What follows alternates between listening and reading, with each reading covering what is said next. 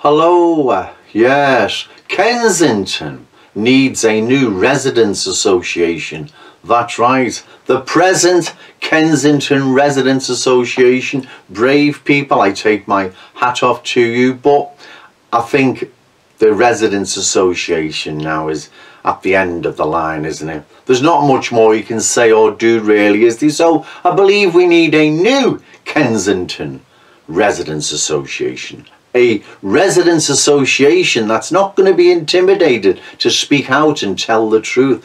So yours truly will be uh, forming a new Kensington Residents Association. I've got people in the area I'm going to speak to, hopefully even have a property, an address where people can contact and so on and so on. It's early early days yet, so I don't, I don't want to say too much, but it's very sad because these have been brave people these. Like I've said I, I, take my hat off to all of you.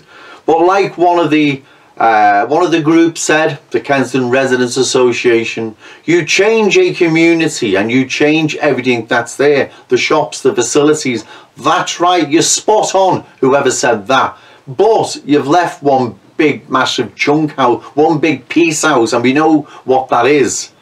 The people change in the community or people that have been dumped into your beloved community without your consent by Liverpool City Council or central government, whoever wants to blame the other. Either way, Joe Anderson, the sitting councillors for Kensington Fairfield, at the very, very least, have remained silent and turned a blind eye, haven't they? Of course they have.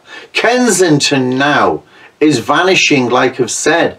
But we can still keep Kensington community if we all stand up, rise and speak out. And especially on the 3rd of May, you have an opportunity, you have a chance now to change things. Because if I was the sitting councillor for Kensington and Fairfield, trust me, they wouldn't keep me silent. But anyway, Kensington needs a new residents association. So that's going to be next. I'll keep you informed. Okay, thank you.